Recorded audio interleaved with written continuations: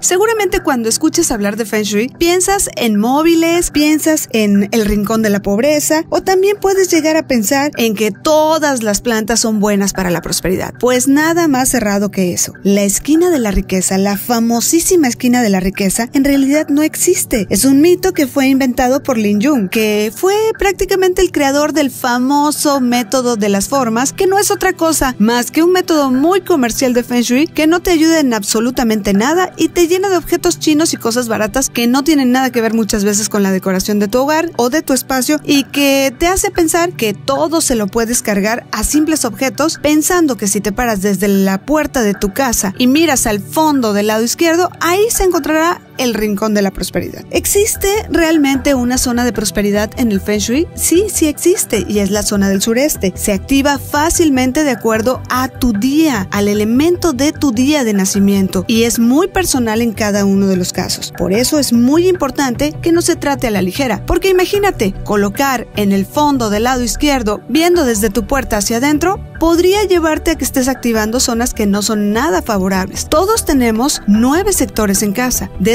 nueve sectores, uno, que es el centro, es neutral. Los otros cuatro serán positivos y tendremos también cuatro que no son tan positivos o que le denominaremos negativos. Esto es con efecto de mantener un equilibrio energético. Así que ya lo sabes, la próxima vez que pienses en prosperidad, no pienses en esa famosa esquina porque podría ser contraproducente para ti. Hablemos un poco de los wind chimes. Sí, estas campanillas de viento que son tan hermosas en muchas ocasiones y tan absolutamente nefastas en otras, porque la campanilla de viento tiene que ver desde cómo sintoniza el sonido hasta el lugar donde lo coloques. No vayas pensando que en cualquier lugar donde coloques un móvil va a ser una zona para estimular la prosperidad. Debes tener mucha precaución, porque en primer lugar, los móviles que son efectivos son aquellos que tienen 3, 6 o 9 tubos. En el caso de las curas de prosperidad, deberán de ser muy cuidadosas de checar si tu elemento es compatible con el metal, porque qué tal que fuera un elemento que se destruye a través del metal, por ejemplo, pensemos en un elemento principal de la madera. Entonces, lejos de propiciar una prosperidad, estarías propiciando una energía completamente contraria y muy negativa. Así que la próxima vez que vayas a colocar un móvil de puerta, un móvil de techo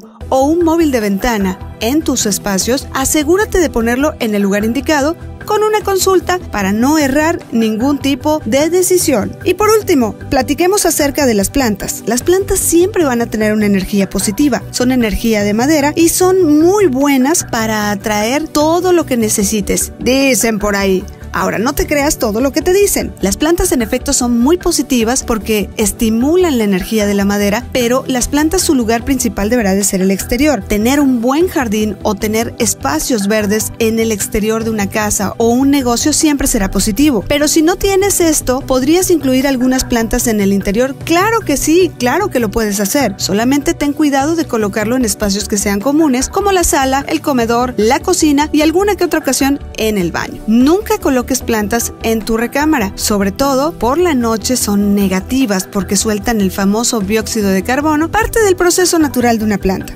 Recuerda que para colocar plantas, estas tienen que ser suaves, tienen que ser de hojas flexibles y no deben llevar espinas. Todo aquello que sea rígido o que lastime podría tener un efecto contraproducente. Es súper importante que mantengas estos detalles a raya para siempre tener una buena energía positiva en tu entorno.